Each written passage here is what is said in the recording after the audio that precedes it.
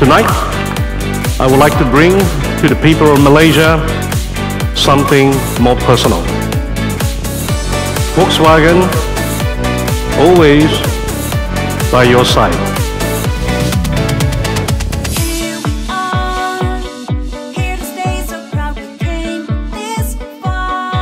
Today, we are making a commitment.